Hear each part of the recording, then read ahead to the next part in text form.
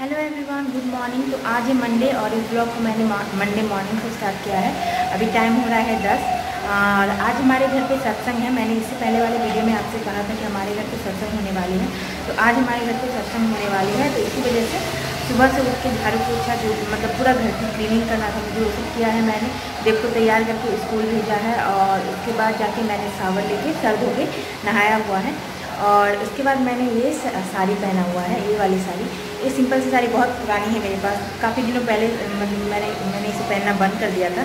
पर फिर से आज मन हुआ कि यही साड़ी पहन लेती तो मैंने ये साड़ी पहना है, अभी साड़ी पहना है। मेरे चैनल पे रिक्वेस्ट भी आ रही थी कि आप साड़ी पहन के फिर से एक ब्लॉग बनाइए, आप साड़ी में बहुत अच्छे लगते हैं। तो चलो, आज सत्संग था तो मैंने सोचा, चलो साड़ी लगा लेती हूँ, वो भी पहन लेती हूँ। तो मैंने ये वाला साड़ी पहना है अभी। और अभी हस्बैंड जी ने चाय वगैरह पी लिया है, मैंने अभी तक नहीं पिया है। मैं जस्ट अभी अभी सावर लेकर आई हूँ, पूजा वगैरह अभी जस्ट कंप्लीट किया है। और आज अभी भी बारिश बहुत तेज़ हो रही है, यहाँ पर तीन चार रोज़ से लगातार बारिश हो रही है।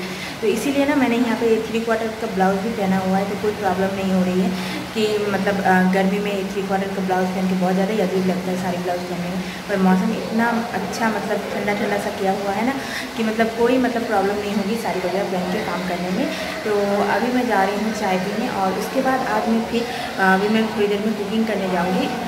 एक्चुअली ना, मैं आज नाश्ता नहीं बनाऊँगी।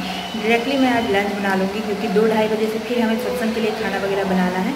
तो इसी वजह से मैं अभी जा रही हूँ। पहले चाय पी के, फिर लंच बनाने। और थोड़ा सा आसपास में आपको एक दो साउंड सुनाई दे रहा होगा। हमारे घर पे कुछ लोग भी आए हुए हैं और थोड़ा बारिश भी हो रहा है इसी वजह से। तो प्लीज़ आप इसके लिए माइंड मत करिएगा। और अब मैं चाय पीने के बाद आ गई हूँ किचन में। और किचन में आने के बाद मैंने एक तरफ़ पहले चावल रखा हुआ है पकने के लिए और दूसरी तरफ़ मैंने एक प्लेट में थोड़ा सा मूंग दाल निकाल लिया था और कुकर को कर लिया है गरम और उसी कुकर में बिना कुछ ऐड किए हुए सूखा कुकर में ही मैं मूंग दाल को फ्राई कर रही हूँ।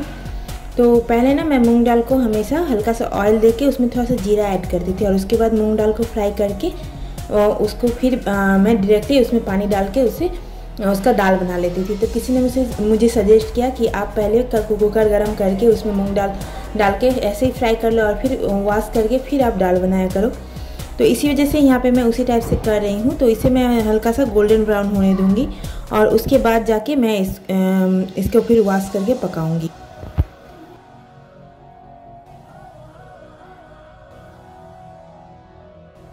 तो दाल जो है अब गोल्डन ब्राउन कलर का हो चुका है तो मूंग दाल ने अपना कलर अच्छी तरीके से चेंज कर लिया है और अब मैंने एक कटोरी में पानी भर के रख लिया है और उसके बाद दाल को मैं उसमें ही ट्रांसफ़र कर रही हूँ और थोड़ी देर सोख करके रखने के बाद उसे मैं करूँगी वॉश।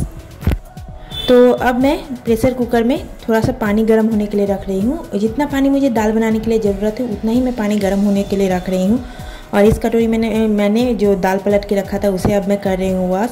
और अब इसे वॉश करने के बाद फिर मैं इसे प्रेशर कुकर में ऐड कर दूँगी और उसके बाद फिर जाके नमक, हल्दी और ऑयल डाल के इसे पका लूँगी। तो दाल बन के रेडी हो जाएगी। मैं एकदम सिंपल सा प्लेन सा ही दाल बनाने वाली हूँ। और आज लहसुन मिर्ची नहीं बनेगा तो इसे मूंग दाल हमेशा मैं लहसुन और मिर्ची से छौका करती थी। पर आज मैं इसकी छौक नहीं लगाऊँगी, ऐसे ही रहेगा ये, क्योंकि आज हम लोग बिना प्याज, लहसुन के खाना बनाने वाले हैं।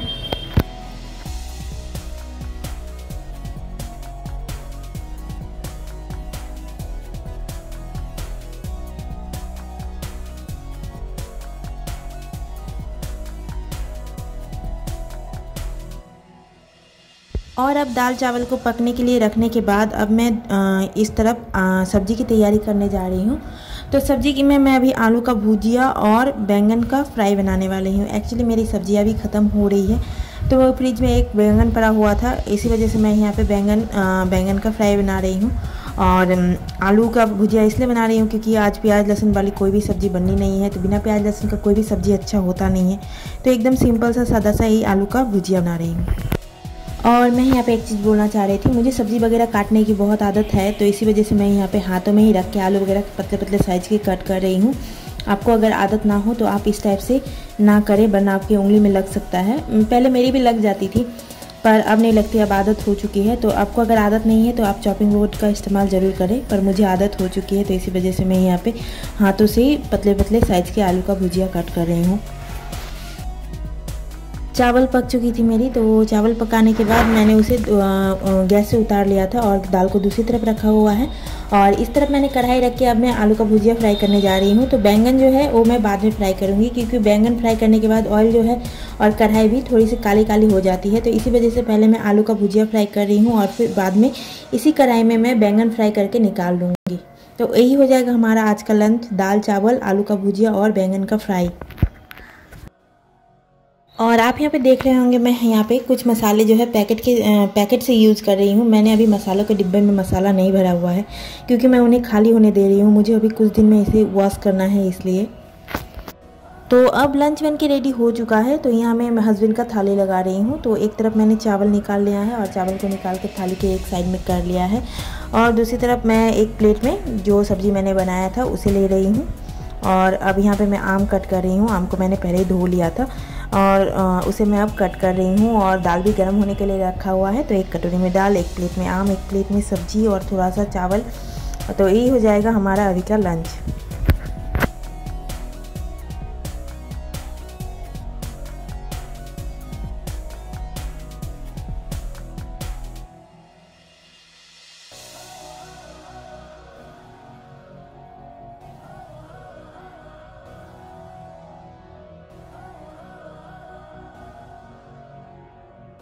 लंच करने के बाद आ गई हूँ मैं एक और रूम में। हमारे घर का एक और रूम है ये। यहाँ पे एक बस बेड ही लगा हुआ है। यहाँ पे कोई अगर पार्टी वगैरह आ जाते हैं तो यहाँ पे आराम वगैरह करते हैं। तो आम, मैंने ना इस इस बिस्तर का चादर को कल एक दिन पहले मतलब एक दिन पहले ही वॉश करके रख दिया था। पर मैंने इसे बिछाया नहीं था। सोचा था जिस दिन सत्संग होगा तभी बिछाऊँगी। तो अभी थोड़ी देर में सत्संग स्टार्ट होने वाला है। तो आ गई हूँ मैं इस बिस्तर को ठीक ठाक करने अच्छे तरीके से बिस्तर लगा के और इसके बाद इस रूम को लॉक करके मैं चली जाऊँगी। क्योंकि यहीं पर बालकनी में अभी सत्संग होने वाली है।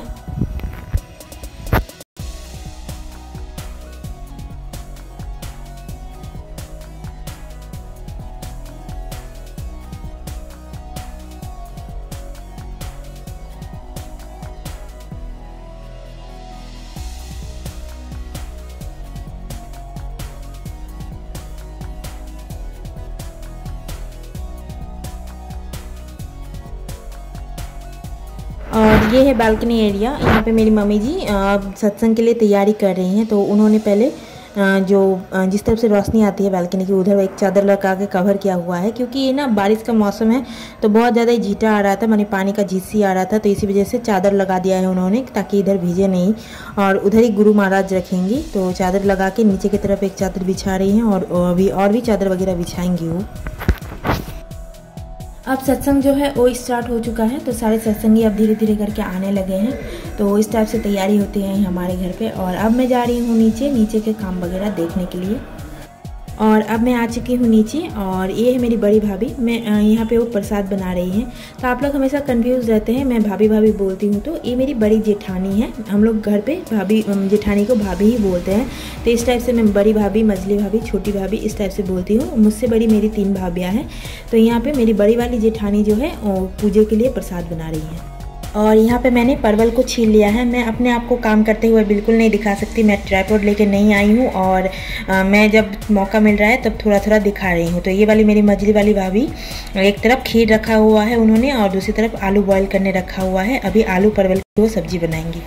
तो अभी थोड़ी देर पहले मैंने आपको दिखाया कि मेरी बड़ी भाभी प्रसाद बना रही थी। तो जो वाली ओवन में वो प्रसाद बना रही थी, वो बिना नमक वाला है। मतलब आज तक उसमें नमकीन कुछ बना नहीं है। उसमें हमेशा मिठाई, प्रसाद बनता है। तो वो गैस को अब चेंज कर लिया गया है और चेंज करने के बाद यहाँ पे ये बड़े साइज़ का मतलब इस गैस का आज बहुत अच्छा है। सब्ज़ी वगैरह बनाने के लिए बहुत अच्छा हो जाता है। तो इस गैस को लगाया गया है और उसके बाद सरसों का तेल गर्म होने के लिए दिया गया है। तो इसी का वेट कर रही है भाभी। तो जब ऑयल गर्म हो जाएगा, तब परवल फ्राई होगा। और भाभी यहाँ पे सब्ज़ी बना रही हैं। जब तक, तब तक मैं खीर वगैरह मैं देख रही हूँ, पर बीच बीच में मैं आके सूप भी कर रही हूँ। तो यहाँ पे जो ऑयल गर्म होने के बाद वो परवल को फ्राई होने के लिए रख रही है और दूसरी तरफ़ जो आलू है वो भी बॉयल हो चुका है। तो अब मैं आलू को छील के यहाँ पर ला उन्हें दे दूँगी। जब तक मेरी भाभी ने परवल को फ्राई किया और उसके बाद एक तरफ़ उन्होंने मसाला छौका है जब तक, तब तक मैंने आलू को छील के यहाँ पे दे दिया था। तो मेरी बड़ी वाली जेठानी जो है, उन्होंने आलू को बीच से कट कर दिया है और उसके बाद मसाला फ्राई होने के बाद आलू को उसमें ऐड कर दिया जाएगा। तो यहाँ पे हम लोग सब मिलजुल के काम करते हैं तो काफ़ी सारे लोगों को खाना बनना होता है तो बिल्कुल भी प्रॉब्लम नहीं होता है। तो इधर एक दूसरे के साथ बात भी कर रही हैं, उधर मसाला भी फ्राई हो रहा है, इधर खीर भी पक रहा है तो सारा काम एक साथ होते रहता है और बातचीत भी हमारा चलते रहता है। तो जो भी हमें बनाना था, जितना भी हमें खाना वगैरह बनाना था, वो बन के रेडी हो चुका है। तो बस इस सब्ज़ी में ग्रेवी डालना रह गया था। तो ग्रेवी, वो बड़ी वाली जेठानी ने अपने आइडिया से डाला है। थोड़ी देर पकाने के बाद ये भी बन के रेडी रेडी हो जाएगा और आटा भी गूंद गूंद के हमने रख लिया है। बस उसे बनाना रह गया है। तो गर्मा गर्म पूरी बना के हम लोग देते हैं, इसीलिए अभी बाद में। और ये देखिए, अब आलू और परवल वाली सब्ज़ी जो है, वो बन के रेडी हो चुका है। और दूसरी तरफ़ मेरी छोटी वाली भाभी ने चाय रखा हुआ है सबके लिए बनाने के लिए। और उधर जो है, वो डेक्सी में खीर भी बन के रेडी हो चुका है। तो सारा सब कुछ हम लोगों ने बना के रेडी कर लिया है और बस ढक ढक के उन्हें रखा हुआ है। जब सत्संग का आरती वगैरह स्टार्ट होगा, उसके बाद हम लोग पूरी वगैरह छकने के लिए चले जाएँगे। तो अभी मैं हूँ छत के ऊपर और पीछे थोड़ा सा सत्संग का आवाज़ आ रहा होगा। तो अभी मैं हूँ छत के ऊपर, नीचे से डायरेक्टली ऊपर आ गई हूँ। मैं रूम में नहीं गई थी तो इसीलिए अभी सर वगैरह से बिछड़ा पड़ा हुआ है। काम करते करते ऐसा हालत हो गया है। और जब भाभिया काम कर रही थी ना, तब मैं रिकॉर्ड करके दिखा रही थी। मैं खुद को काम करते हुए नहीं दिखा पा रही थी, क्योंकि काम के टाइम में किसी को नहीं बोल सकती। भाभी थोड़ा सा मेरा शूट कर लीजिए कर लीजिए कर लीजिए। और बीच में ट्राईपोर्ड रख के काम करने में थोड़ा दिक्कत आ जाता है। तो इसीलिए मैंने ट्राईपोर्ड भी नहीं रखा था। और जब जब भाभी मतलब मौका मिलता था, मैंने बीच बीच में थोड़ा सा दिखाया है। और सीधा मैं नीचे से ऊपर आ गई हूँ। अभी संध्या देने के लिए साँझ का टाइम हो रहा है तो अभी जा रही हूँ मैं संध्या देने के लिए और उसके बाद फिर जाके, फिर नीचे जाऊँगी, फिर जाके गुरु महाराज को भोग वगैरह लगेगा और सब कुछ होगा। तो तब तक मैं जल्दी जल्दी करके संध्या दे देती हूँ, क्योंकि साँझ का टाइम हो चुका है। अभी टाइम पौने छः पौने छः हो रहा है तो अभी जा रही हूँ मैं संध्या देने। तो यहाँ पे देखिए मेघ पूरा अंधेरा किया हुआ है, पूरा काला काला बादल जो है यहाँ पे छाए हुए हैं। तो मैं आपको यहाँ पे मेघ नहीं दिखा रही हूँ मैं यहाँ पे आपको यहाँ पे कौआ दिखा रही हूँ। कितना सारा कौआ हमारे घर के पास ही इस टाइप से गोल गोल गोल गोल करके पता नहीं क्यों आ, क्या हो रहा है उस तरफ़। सारे कौए एक जगह आके इस टाइप से गोल गोल करके घूम रहे हैं। पता नहीं इससे पहले मैंने इतना सारे कौआ दिखा ही नहीं था एक साथ में। तो मैं जल्दी जल्दी से जा रही हूँ संधा देने। तो आटा जो है मैंने पहले ही गूंद के रख दिया था तो भाभी ने जल्दी से उनके पेड़े बना लिया है। और पेड़े बनाने के बाद वो यहाँ पे पूरी बेल रही हैं और ये छोटी वाली भाभी जो यहाँ पे है, पूरी छाक रही है। तो ऐसे ही हम लोग काम करते हैं। अभी वो दोनों कर रही है, थोड़ी देर बाद मैं करूँगी, थोड़ी देर बाद मेरी मजली वाली भाभी आ जाएगी, सब मिलजुल के। तो अब मेरी एक और भाभी भी आ गई हैं यहाँ पे पूरी बेलने के लिए। और तब तक मैं इस तरफ़ चाय बना रही हूँ सारे सत्संगियों के लिए। इसीलिए मैं यहाँ पे अभी नहीं कर रही हूँ। तो इन, उन सबको चाय देने के बाद मैं यहाँ पे पूरी वगैरह छनने के लिए मैं भी अभी थोड़ी देर में ज्वाइन कर लूँगी।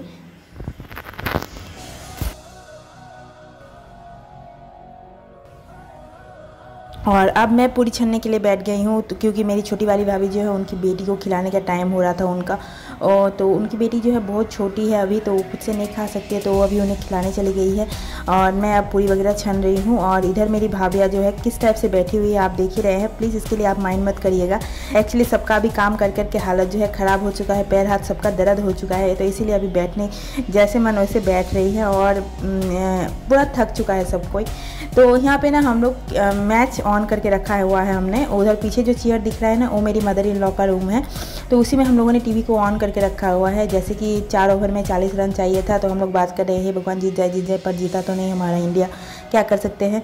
ये सब बारिश की वजह से हुआ है। तो वही सब हम लोग बात कर रहे थे कि, हे भगवान, अगर कल कल मैच हुआ रहता तो ज़रूर जीतता, क्योंकि कल का उन लोगों उन लोग का लक अच्छा था, आज लोग, उन लोगों का लक अच्छा नहीं है। तो ये सब हम लोग बात वगैरह करते करते यहाँ पे सारे काम काज कर रहे हैं। और देख रहे हैं आप सब, उस रूम में जाके बैठे हुए हैं, आ रहे हैं, जा रहे हैं, क्योंकि सबको मैं अभी टाइम हो रहा है साढ़े दस और मैं आ गई हूँ अपने रूम में। और खाना पीना जो है मैंने नीचे ही खा लिया था और हस्बैंड जी का खाना ला के मैंने ढक दिया है और इधर अभी रखा हुआ है, वो जब आएँगे तो खाना खाएँगे। और अब मैं जा रही हूँ देव को पढ़ाने तो देव इधर अपना कॉफ़ी वगैरह लेके बैठा हुआ है। टाइम साढ़े दस हो रहा है पर मुझे अभी पढ़ाना पड़ेगा उसको क्योंकि अभी काम कंप्लीट करके मैं जस्ट ऊपर आई हूँ तो उसका स्कूल का जो होमवर्क है ना वो मुझे अभी कराना पड़ेगा। तो अभी मैं उसे जा रही हूँ पढ़ाने। और इस वीडियो को मैं अभी एंड कर रही हूँ क्योंकि फिर आ, मुझे देव को पढ़ाना पड़ेगा और भी एक दो काम है वो सब कंप्लीट करना पड़ेगा। तो आज का वीडियो यहीं पे ख़त्म कर रही हूँ। होप अच्छी लगी होगी। वीडियो अच्छी लगी हो तो एक लाइक चैनल को सब्सक्राइब करना ना भूलें। मिलती हूँ नेक्स्ट वीडियो में। तब तक के लिए बाय